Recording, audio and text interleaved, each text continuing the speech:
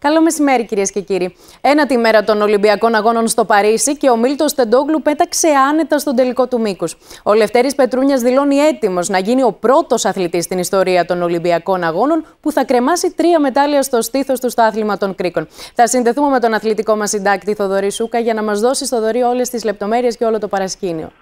Θα ξεκινήσουμε με τη Σκοβολή Βαλεντίνα και την Εμμανουέλα Κατζουράκη που πήρε με την κορυφαία επίδοση στην πρόκριση στον τελικό του σκίτ γυναικών και βάζει υποψηφιότητα για ένα μετάλλιο. Σπουδαίος Μίλτος Τεντόγλου έδειξε σήμερα από νωρίς τις διαθέσεις του και χρειάστηκε μόλις ένα άλμα στα 8 μέτρα και 32 εκατοστά για να περάσει τον τελικό. Παρά το γεγονός ότι είχε κόντρα άνεμο στην προσπάθειά του. Ο τελικός θα γίνει την Τρίτη σε 9 και 4 το βράδυ και ο Έλληνας προαθή έχει φυσικά πολλές ελπίδες να υπερασπίσει το χρυσό μετάλλιο που κατέκτησε στο Τόκιο και να ανέβει ξανά στο βάθρο των νικητών. Τώρα ο Άρχοντας των Κρίκων θα αγωνιστεί σε λίγη ώρα στον τρίτο συνεχόμενο τελικό Ολυμπιακό Αγώνα στην καριέρα του και είναι έτοιμος να δώσει μεγάλη μάχη για να ανέβει ξανά στο βάθρο. Σε ανάρτησή του ανέφερε μεταξύ άλλων ότι θα δώσει όλη του την ψυχή στον αγώνα. Λευτέρης Πετρούνιας, περιμένουμε πολλά από εκείνο. Στο Πόλο τώρα το βράδυ η Εθνική Ομάδα των Γυναικών θα δώσει τελικό με τη Γαλλία ε, στις 9 ώρα το βράδυ και θέλει μόνο την νίκη για να έχει ελπίδες πρόκρισης στην επόμενη φάση.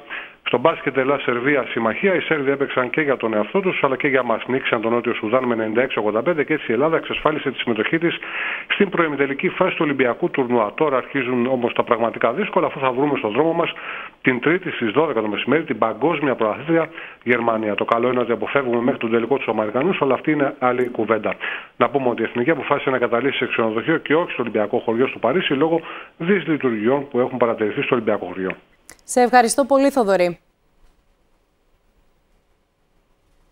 Μπαρούτι μυρίζει η Μέση Ανατολή με τη Χεσμολάχ να δίνει την πρώτη απάντηση στο Ισραήλ ως αντίπεινα, εκτοξεύοντας βροχή ρουκετών τα ξημερώματα της Κυριακής, οι οποίες αναχαιτίστηκαν από το Ισραηλινό Iron Dome. Ο Κωστής Βέιμος από την αίθουσα ειδήσεων θα μας δώσει όλες τις λεπτομέρειες. Κωστή, είχαμε και επίθεση με μαχαίρι στην πόλη Χολών, έτσι.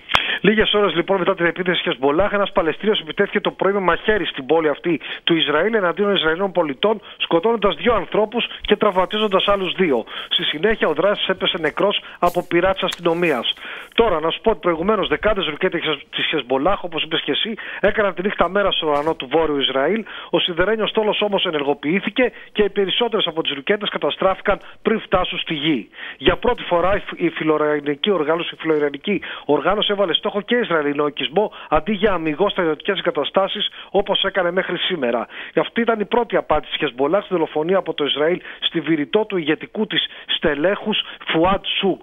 Οι φόβοι ωστόσο Βαλεντίνα για ένα ολοκληρωτικό πόλεμο στη Μέση Ανατολή ενισχύονται, δεδομένου ότι αναμένεται η απάντηση του Ιράν τις ερχόμενες ώρες ή ημέρες ε, στη δολοφονία του ηγέτη της Χαμάς στην Τεχεράνη. Σε ευχαριστώ πολύ Κωστή για το αναλυτικό ρεπορτάζ.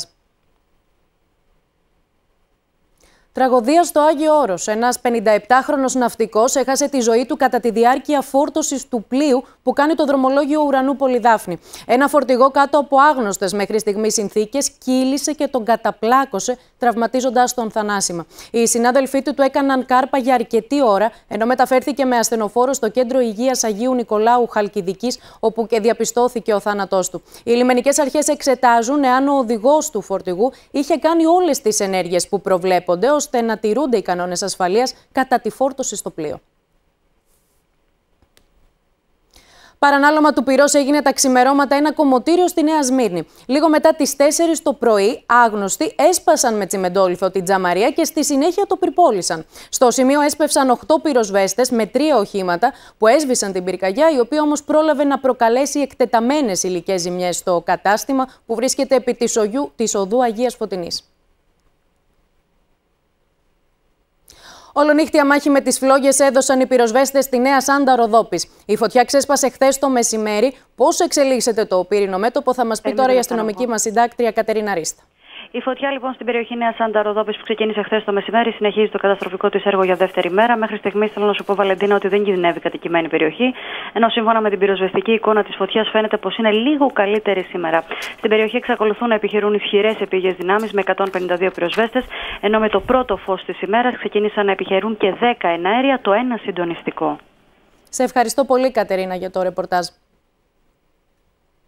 Ο τέλος για τον καπετάνιο του ιστιοφόρου που έπλεε ακυβέρνητος στον Κορινθιακό, ο οποίος βρέθηκε ζωντανός μετά από πολύ ωραία έρευνα. Ο καπετάνιος είχε πέσει στη θάλασσα και αγνοείτο για πολλές ώρες. Τον εντόπισε εμπορικό πλοίο που έπλεε στην περιοχή και μετήχε στις έρευνες. Το ιστιοφόρο με πέντε τουρίστες και τον καπετάνιο είχε αποπλέψει από τον Άγιο Νικόλαο Φωκίδας όταν ξαφνικά υπέστη μηχανική βλάβη. Σύμφωνα με πληροφορίες, ο καπετάνιος θέλησε να συνεχίσει την πορεία του σκάφους, κατεβάζοντας τα πανιά και τότε υπό αδιευκρίνηστε συνθήκες έπεσε στη θάλασσα, ενώ στην περιοχή έπνεαν δυνατοί άνεμοι. Το σκάφος για περίπου μία ώρα έπλεε ακυβέρνητο, ωστόσο εντοπίστηκε από δυνάμεις του λιμενικού που επιχειρούσαν μαζί με παραπλέοντα σκάφη, ενώ στις έρευνες συμμετείχε ακόμη και ελικόπτερο.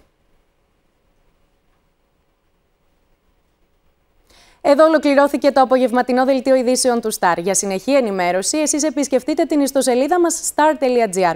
Ακολουθεί η ξένη σειρά Τα Φιλαράκια. Όλη η ειδησιογραφία της ημέρας στο κεντρικό δελτίο ειδήσεων στις 8 παρατέταρτο με τον Σπύρο Λάμπρου. Από όλους εμάς, κυρίες και κύριοι, να έχετε ένα όμορφο και ήρεμο απόγευμα. Γεια σας.